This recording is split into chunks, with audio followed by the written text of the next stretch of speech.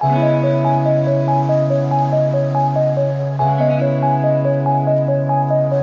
tal chiquillos? ¿Cómo están? Gracias por estar otra vez aquí viendo un video de Christopher Ali. Estoy en Ventisqueros Camping Sostenible. Esto es en Poás de Alajuela. Aquí yo estoy el día de hoy con el experto en camping y montañismo con más de 30 años de experiencia, Gio Rodríguez.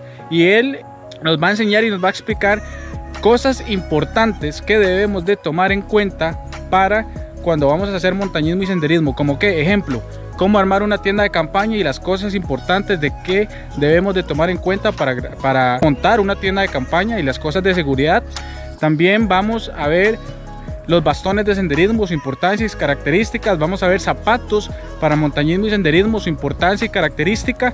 También vamos a ver lo que es un botiquín de primeros auxilios que siempre debemos de llevar en caso de este tipo de aventura.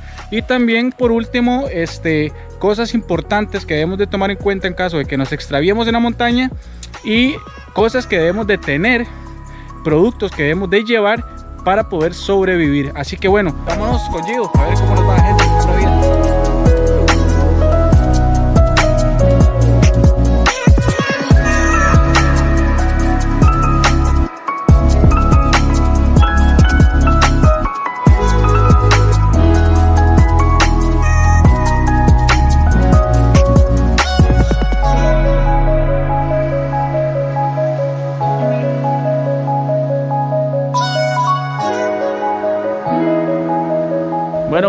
Este, Gio nos va a enseñar en este video en especial eh, cómo armar un campamento y las cosas importantes que debemos tomar en cuenta. Así que, Gio, vámonos. Así es. Hay una serie de elementos básicos que tenemos que tomar en consideración para hacerlo de forma segura. El primer elemento que siempre se tiene que tomar en consideración es la seguridad. Que la zona donde vamos a poner la tienda sea una zona segura y adecuada para poder dormir y estar de manera tranquila disfrutando del espacio.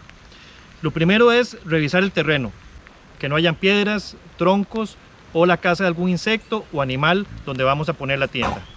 Okay, este terreno acá, Gio, vemos que está bastante amplio, uh -huh. no hay como una zona de, de peligro, entonces Correcto. es un lugar ideal para poder poner la tienda de campaña. Este es un espacio ideal para poner la tienda de campaña, aún así siempre hay que revisar, por ejemplo, aquí tenemos un tronco y esto podría dañar la tienda o bien dañar este, la espalda o, o, o el pie de las personas que estén ocupando la tienda. Entonces siempre hay que revisar y verificar que el terreno esté limpio. Okay. Otro elemento muy importante a tomar en consideración a la hora de armar un campamento es saber la dirección en la que corre el viento. Eso determina eventualmente cómo va a caer la lluvia y también cómo va a enfriar la temperatura en la noche.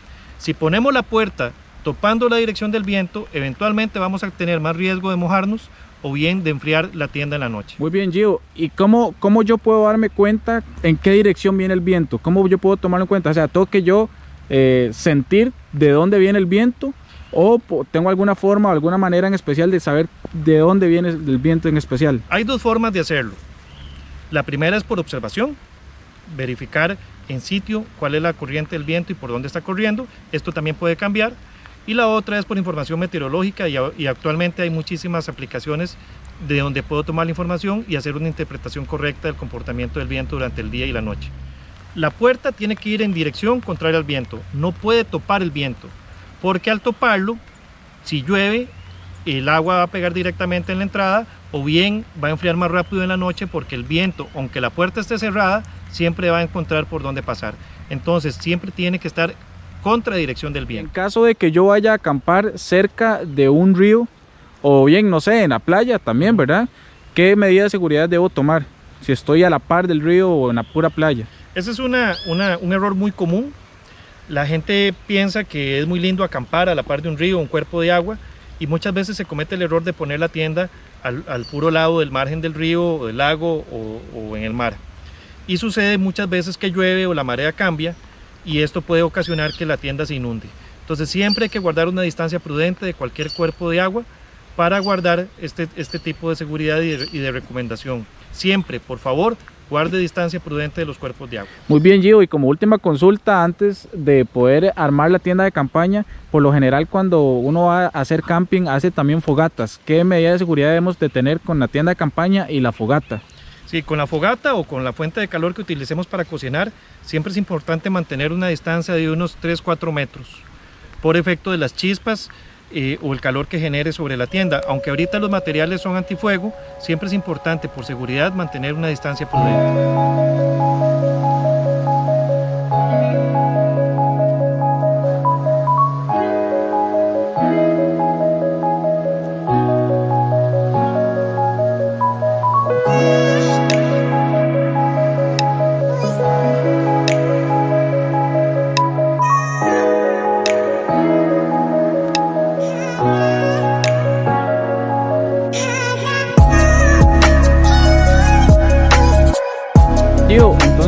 Que ya tenemos armada la tienda de campaña y tomamos las recomendaciones que vimos anteriormente, ¿qué es lo último que debemos de tomar en cuenta ya para decir estamos listos? Sí, son dos aspectos de seguridad. El primero, cómo se eh, introduce en el, en el terreno la estaca. La estaca para generar la tensión necesaria tiene que estar en un ángulo transversal de unos 45 grados Ok. y siempre con la punta o el gancho hacia afuera, porque el hilo viene de este lado, de esta forma. Veámoslo aquí. Entonces, introducimos en el suelo en un ángulo que quede lo suficientemente adentro para poder tensar el cobertor de la tienda.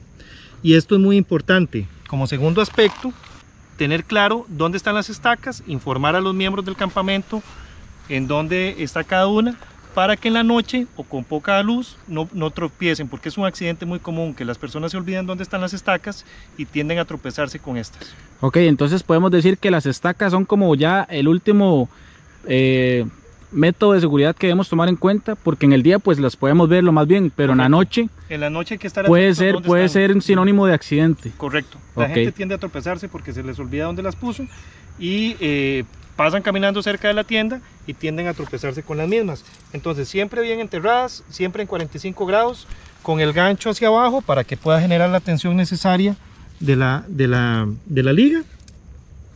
Y eh, siempre tener claro dónde pusimos las estacas para evitar tropiezos. Muy bien gente, y vamos llegando entonces al final de este primer video donde con Gio aprendimos cómo es armar un campamento y las medidas de seguridad que debemos de tener.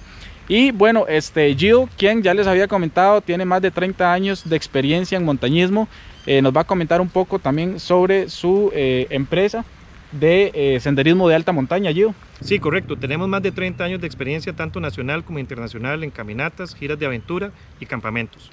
Puedes seguirnos en guidorodríguez.com, Ok, y también pueden encontrarlos en Facebook, ¿cómo? Como Gio Rodríguez también. como Gio Rodríguez. Yo les voy a dejar aquí también en la descripción el enlace y la dirección de Gio Rodríguez para que lo puedan encontrar, para que también vengan aquí a Ventisqueros, disfruten de las noches de estrellas, de la luna llena, de acampar, eh, que Gio les tiene cosas súper chuzas para que lo contacten y también aprendan mucho con él. Gio, muchas gracias por participar en Gracias este a video. todos, los esperamos. Nos vemos, chiquillos, pura vida. Pura vida.